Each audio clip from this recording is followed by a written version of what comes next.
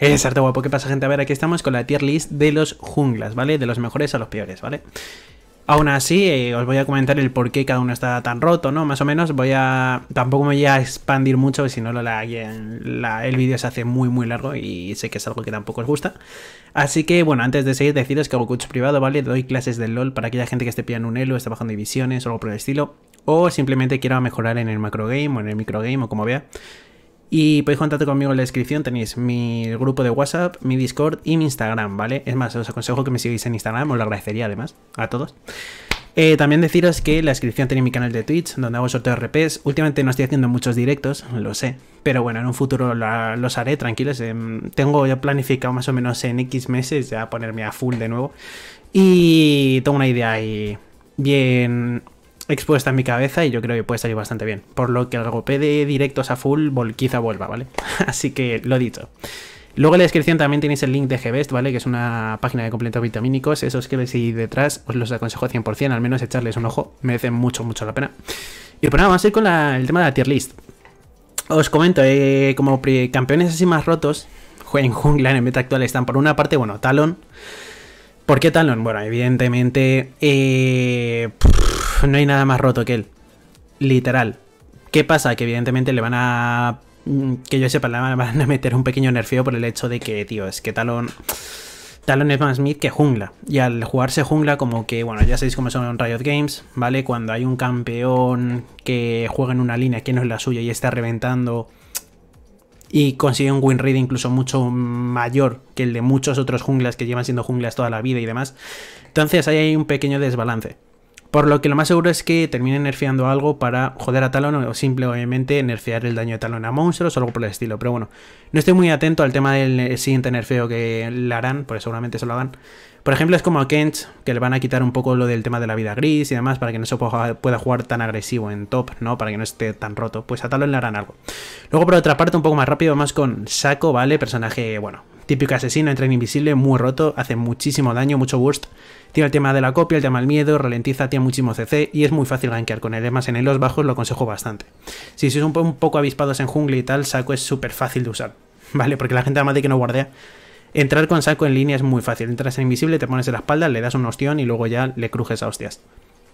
Y luego si usa bien el tema de las cajas, pues bueno, para romper torres, eh, para, para rankear líneas y etcétera, es increíble. Incluso para hacer objetivos, gracias al tema de la copia. Como por ejemplo el Heraldo, se hace mucho más fácil gracias a la copia. Por otra parte, el tema de Grapes. Eh, es de los tiradores, bueno, más bien es casi el único tirador que aconsejo yo en jungla, ¿vale? Hay mucha gente que juega también con tiradores como Twitch, pero bueno, Twitch eh, en el meta actual en jungla no está nada worth. Que lo podéis jugar y podéis reventar, no os digo que no, pero es eso. Como sabéis el red, al gankear nivel 2, si no os quedéis ninguna killing, el, enemigo ni siquiera gaste summoners y tal, como que se queda un poco plof. Pero bueno, se puede seguir jugando, pero vamos, no lo aconsejo. Dicho esto, ¿vale? De los únicos tiradores que aconsejo es Grapes, por el hecho de que además de que empuja a los enemigos, tiene muchísimo daño, mucho burst y en teamfight es bestial. Y gankear con es bastante fácil. Además, luego el tema del desliz de la E le da bastante movilidad, entonces es un poco complicado escaparse de Graves. Tiene el CC de la W, que es de los mejores CCs.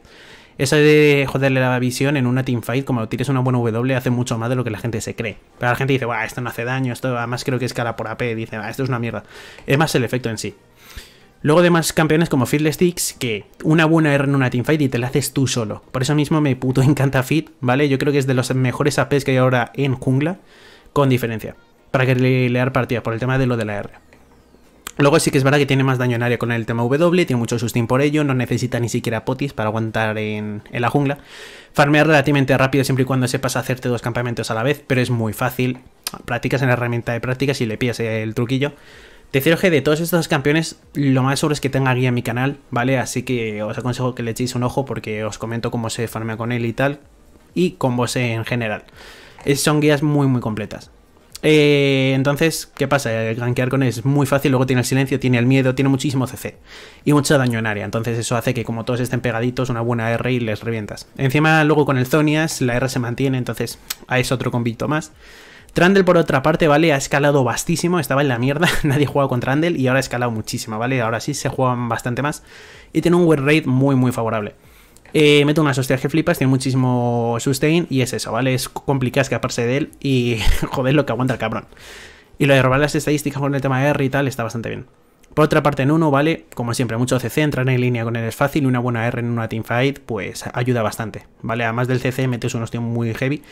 Pero lo más importante es que además del Smite tienes la Q, que es como otra especie de Smite, que es incluso mejor que el propio Smite luego, porque luego en mid-game, late game es mejor que el propio Smite, hace mucho más daño. Entonces puedes que si te roban objetivos con uno es que eres muy malo con uno, ¿vale? Lo más eh, es más, incluso robar objetivos con uno es relativamente fácil, siempre y cuando estés a rango, porque tienes el tema de la Q el smite, entonces es como si tuvieras dos aplastar en un momento. Y eso quieras que no, pues coño, si le quita 2000 o 2000 y pico de vida a un varón, un heraldo, un dragón en 0, pues coño, lo más seguro es que te lo quedes tú y el enemigo.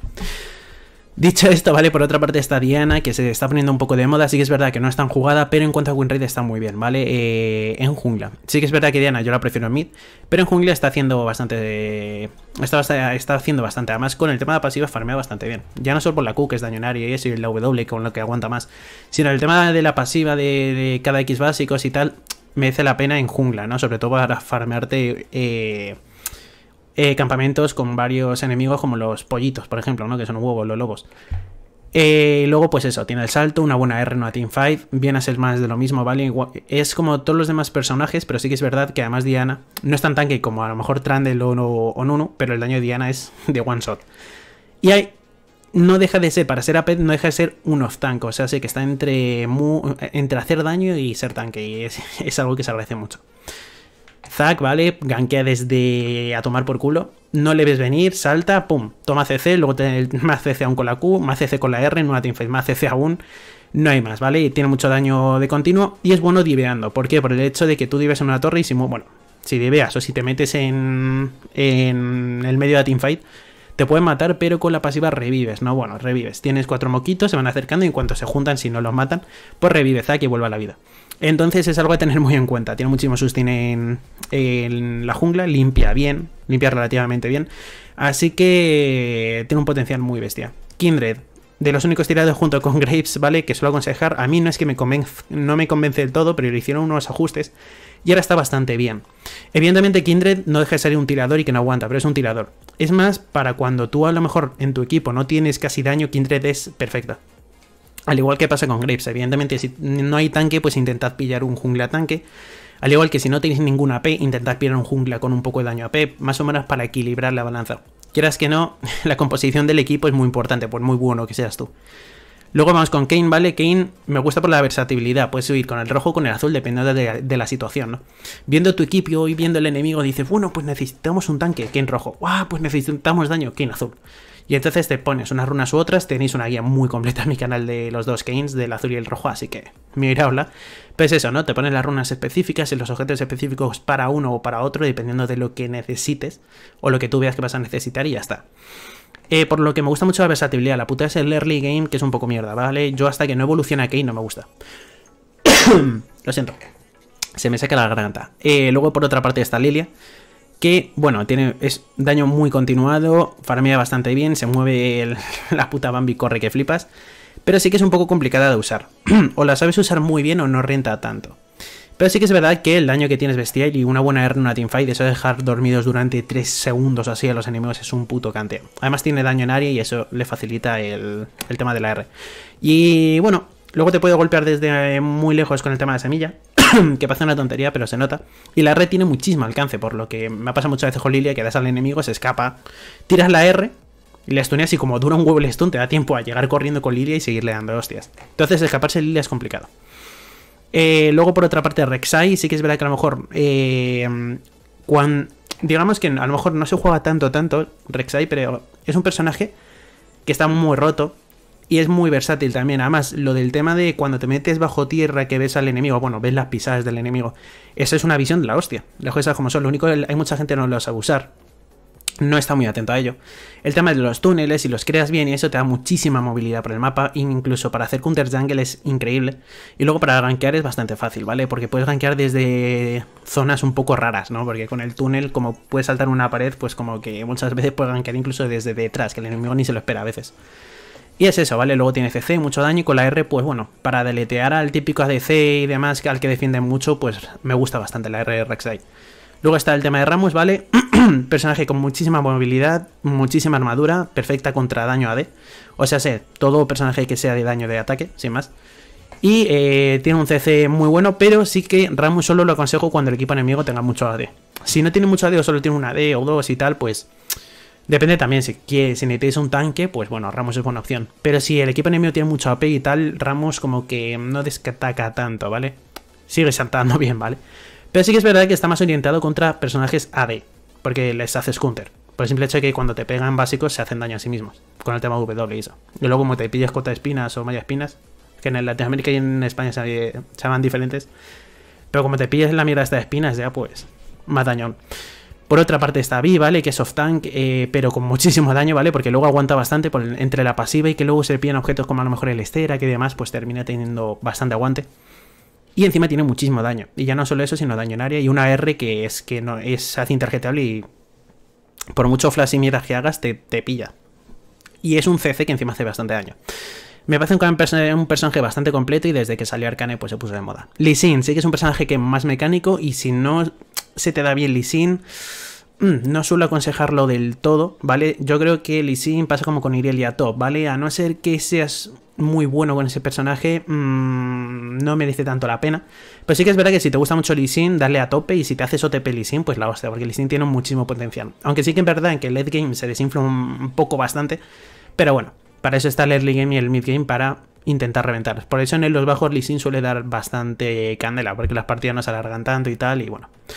Por otra parte está Viego, que a mí sinceramente Viego, como os dije, renta siempre y cuando sepáis más o menos cómo funcionan los campeones en general. Por el hecho de que cuando conquistas tú, eh, bueno, conquistas, yo siempre digo conquistar, cuando violas el cuerpo de un personajito, pues tienes las habilidades de ese personaje. Entonces, si nunca has jugado al LOL o llevas poco jugando al LOL, mmm, es como si te pillas a Sivani y no sabes ni qué coño hace. Digamos que para sacarle el máximo partido es mejor tener un conocimiento más amplio del juego, o al menos de todos los campeones. Por lo que Diego le suelo aconsejar a gente que ya pues lleva tiempo jugando al LOL y sabe cómo funciona cada uno más o menos y bueno, y se puede defender. Pero aún así tiene mucho CC, eh, se mueve bastante, bueno, tiene mucha movilidad y tiene bastante boost. Sí que es verdad que con tanto nerfeo yo a lo mejor sí que lo habría puesto incluso un poco más hacia atrás en el tema de la S, pero bueno, no está mal, ha vuelto a escalar un poco, así que... Maestro G, perfecto, para él los bajos, te haces pentas tú solo, es lo más puto fácil que hay, una buena R y unas Qs y ya está, esperas a que el enemigo gaste todo el CC y gaste todas las mierdas, luego te metes tú y te haces una penta, y luego ya, pues bueno, para romper, para hacer tu objetivo, para es, es bueno para todo, encima te haces interjeteable cada X, cada nada, cada X segundos, y llega un momento en el que, pues, revientas. Evidentemente en los bajos se aprovecha mucho más porque es un personaje muy fácil y muy roto. Al igual que Warwick, ¿vale? Pasa lo mismo. Warwick sí que es verdad que también el de los saltos se aprovecha bastante, porque tiene muchísimo robo de vida, tiene el tema del miedo de la E. Con la Q te puedes, incluso aunque haga flash, te puedes ir con él si lo haces bien y, en justo a tiempo. En la R, quieras que no le da mucho alcance y como te pille, te, te mete más CC aún y mucho daño. Tiene muchísimo aguante. Y luego, pues eso, para romper torretas y demás está bien. Pero lo dicho, ¿vale? En los bajos suelen hacer, son personajes que hacen más. Luego por otra parte está Chinzao, que arrancar con él es muy fácil, ¿vale? El tema del salto, tiene más CC. Y lo bueno es el tema de la R en medio de una teamfight, ¿vale? Eso de apartar a todos y dejar al que estabas dando de hostias justo contra ti y bloquear todo el daño procedente de fuera del rango de la R, es increíble, ¿vale? Es, un, es una R de la hostia. Por lo que Chinzao, además de que luego tiene el tema de W y eso, y también termina haciendo daño verdadero y toda esa mierda, pues está bastante bien. Y quedar con él es fácil. Es un personaje bastante fácil y bastante efectivo. Y luego Poppy, bueno, yo prefiero Poppy top, sinceramente, pero bueno, Poppy jungla está bastante bien, tiene CC, aguanta bastante, corre, quieras que no, tiene bastante con el tema W, entra bien en línea. Y puedes joder saltos del enemigo, por lo que si utilizas la W con cabeza, pues bueno, puedes inutilizar muchos de los saltos o muchos de los deslices, ¿no? De algunos campeones a la hora de escaparse y eso. Y en cuanto a los personajes que están en la A, tampoco me quiero enrollar mucho porque si no el vídeo se hace muy muy largo, que aún así va a ser largo creo. Pero bueno, el Scarnet le van a hacer un rework, tampoco hay mucho que hablar. Sí que es verdad que el rework se lo harán dentro de un tiempo, a ver si alguna guía de Scarnet antes rework porque me lo pedíais muchísimo y yo siempre he estado esperando a rework, rework, rework. Y ahora que se dice que se va a hacer, espérate cuando se hace, porque primero viene el Dudir y espérate hasta que salga. Así que pues, me. Por lo que bueno, eh, Kha'Zix sí que es verdad que está entre la S y la A. Yo, si os gusta un asesino jungla, 100% eh, Kha'Zix es muy buen champ, aunque bueno, ahora Talon es lo mejorcito y saco igual. Pero bueno, Kha'Zix a mí me gusta bastante. Nidalí, a no ser que seas el puto amo con Nidalí, no lo aconsejo. Y es como tener un segundo support con mucha más efectividad. Eh, pero hay que saber cómo hacerte los campamentos. Cartus es de AFK Farm, ¿vale? Para partidas que duren poco no es muy productivo, pero bueno, si crees que la partida va a durar bastante y puedes hacer una FK farm de continuo, luego con el nivel 6 te hace skill y assist de gratis y escala bastante más rápido. Luego Udir, bueno, se quedado un poco, le hicieron muchos nerfeos porque se puso muy roto, estaba en la S hasta hace unos cuantos parches y tal, y bueno, y le hicieron tantos nerfeos que se quedó un poco plof y Karim más de lo mismo. Elise y Evelyn estaban siempre en la S han, han decaído bastante, pero bueno, yo creo que siguen siendo personajes AP muy poderosos, pero bueno, y es que teniendo a Sticks, pues cuidado. Me gusta más, pero sí que es verdad que siguen siendo bastante efectivas. Elise quizá un poquito menos, pero bueno, a la hora de divear está bien. Jarvan, pues bueno, a no ser que vayas... Mucha gente me pregunta por Jarvan, que si está muy roto y tal, porque lo ven mucho en el competitivo. Todo lo que veis en, el competitivo, eh, que son equipos ya hechos, gente muy pro, no le hagáis mucho caso porque es gente que tiene ya unas mecánicas por encima de todos los que estéis viendo el vídeo. Y son gente que, bueno, que hacen unos... no hace falta pillarse campeones que estén rotos en meta actual o tal, sino que tienen también unas estrategias con X campeones, porque Jarvan entre el tema de la Q, y el tema de la R puede hacer muy buen combo con, con el tema del equipo y demás. Echo no está nada mal, Talilla más de lo mismo, sobre todo por la R. Nocturne es AFK farm hasta tener nivel 6 y gankar full. Y a Mumu pues, te metes en medio de una teamfight y tiras una buena R y nice. Por lo demás no hay mucho que decir, ¿vale? Los demás campeones en jungla están un poco plof. Es más, de todos estos hacia abajo no os aconsejaría ninguno, más o menos. Evidentemente, jugar lo que os salga huevos, pero yo os aconsejo no jugar casi con ninguno. Sí que es verdad que Jax no está mal, Bolívar es que le prefiero mucho en top, mucho más en top. En jungla pierde un poco de potencial, Olaf necesita algo, etc. Así que nada, hasta aquí la guía, siento que se haya alargado al final tanto, es lo que hay. Y como os dije al principio del vídeo, recordad que hago coach privado, ¿vale? O sea, sé para aquella gente que esté pillando un elo, esté bajando clases del LOL, ¿vale? Para aquella gente que esté pillando un elo, esté bajando divisiones, o quiera aprender más del macro game y del microgame y demás, en general y tener más conocimientos del LOL. Por lo que en la descripción podéis contactar conmigo por Discord, por el grupo de WhatsApp o por mi Instagram, ¿vale? Os aconsejo a todos que me sigáis. También tenéis mi canal de, de Twitch, donde hago sorteos de RPs. Y como os dije al principio, el link a Gbest, ¿vale? Que son esos complementos vitamínicos que veis ahí detrás. Los aconsejo 100%, yo los tomo, están fenomenal. Además, son gente de puta madre, ¿vale? Me tratan súper bien y la verdad es que, joder, se, me, se merecen el apoyo. Así que nada, chicos, todo un placer. y ya está el siguiente.